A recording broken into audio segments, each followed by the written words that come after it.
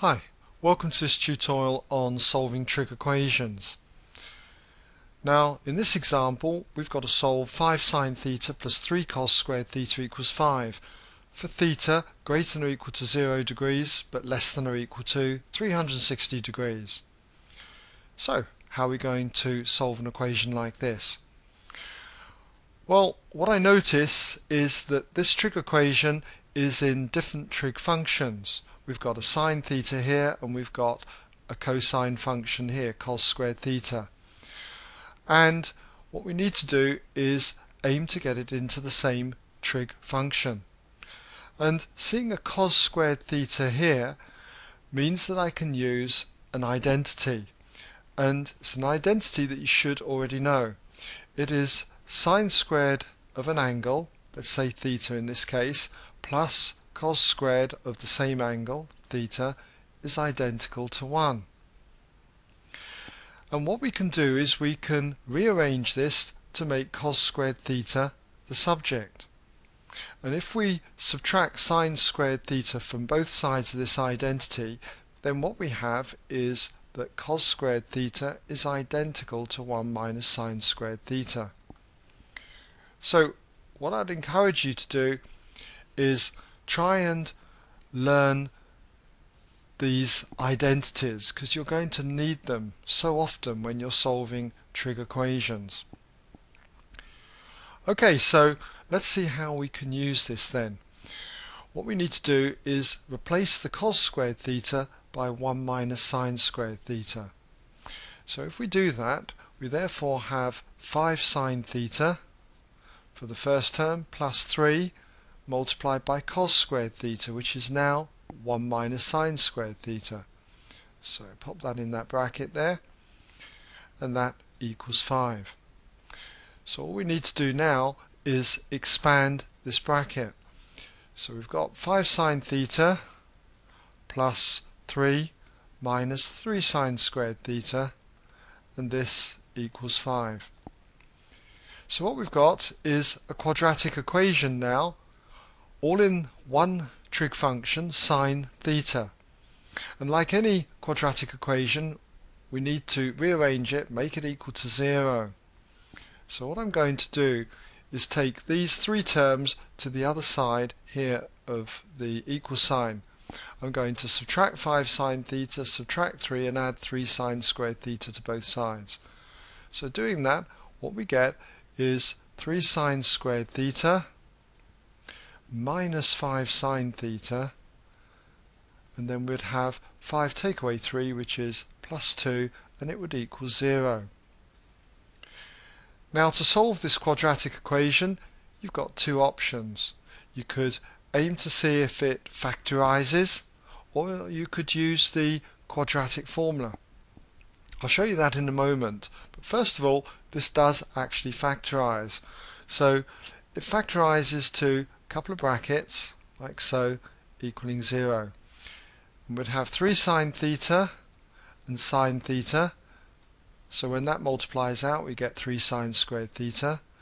Two numbers that multiply together to give plus 2 so that could be say minus 2 and a minus 1 and if we look at it carefully it's going to be there minus 2 minus 1 Alright, so if you multiply this out, you're going to get minus 3 sine theta and minus 2 sine theta.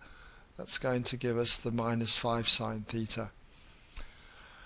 Okay, so what we could do now is put each of these factors equal to 0. So in other words, 3 sine theta minus 2 equals 0, or we have sine theta minus 1 that equals 0.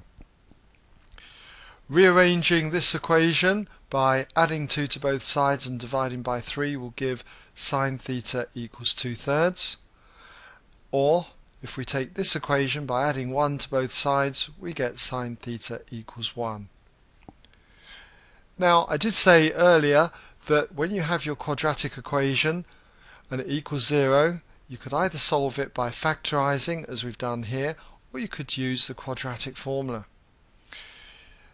Quadratic formula in terms of sine theta, a quadratic equation in sine theta would have something uh, like this. It would be of the form a sine squared theta plus b sine theta plus a constant c would equal zero.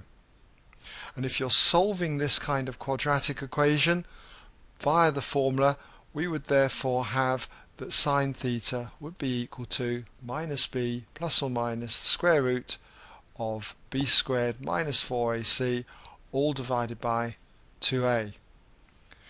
Where in this particular example, a, the coefficient of sine squared theta would have been 3, b would have been minus 5, and c would have been plus 2. So if you put those values into this formula, you should find you come out with these answers for sine theta, 2 thirds and 1 when you use the plus and minus options. Alright, so that's an alternative way of finding sine theta. Now moving on, all we've got to do now is just solve each of these two equations. Let's in fact start with this easy one here, sine theta equals 1. Let's just say that when sine theta equals 1. To get theta, we just inverse sine both sides, so we get theta equals the inverse sine of 1. And this is one that you should know the answers to immediately. But if you're unsure, one way that you could get the solutions is via a graph of, say, sine theta if we were plotting y equals sine theta, we'd have a graph that looks something like this. The, the graph of sine theta starts at 0, so we would have it coming up like this. It goes to 1 at 90 degrees, back down to 0 at 180, to minus 1 at 270, and back to 0 at 360. So this is the graph of y equals sine theta. And we can see that it equals 1 let's just mark that in when theta is 90 degrees. So in other words the solution to this equation for theta between 0 and 360 is going to be theta equals 90 degrees. Now what about the other equation here? Let's just put it over here when sine theta equals 2 thirds. To get theta, we just inverse sine both sides, so theta equals the inverse sine of 2 thirds. Now you could do this one by a graphical method if you wished, but I'm going to show you the quadrant method. It's a method that I personally prefer, and if you're using the quadrant method as opposed to the graph, you just mark this in as 0 degrees. And then what we do is we mark in the quadrants where sine would be positive, in this case positive two thirds, and that's in the first quadrant and the second quadrant. And always mark these two lines equally inclined to the horizontal line here. Marking these angles and what do we require? Well, we require angles between 0 and 360 degrees, so that is starting from 0, turning in an anti-clockwise direction. So we start from here, and the first solution will be a turn to the first blue line, which we'll call theta. The next solution will be starting from here, turn to the next blue line, which is this one here, and that will be another possible solution. So, all you do now is just use your calculator. If you inverse sine 2 thirds, make sure you're in degrees mode. What you should find you get is that theta equals 41.8 degrees to one decimal place. And that is this first angle here, the red theta.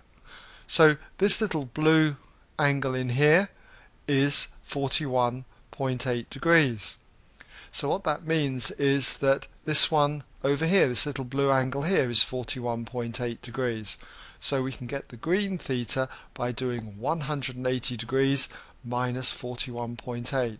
So if you do that on your calculator, you'll find you get 138.2 degrees, and that's also to one decimal place.